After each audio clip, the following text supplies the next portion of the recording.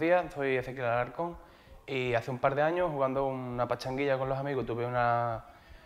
una lesión de rodilla y la fui posponiendo todo lo que pude, la intervención, hasta que ya fue... Mm, era la única solución operarme, entonces me puse en contacto con el doctor Vicente de la Varga, que me intervino y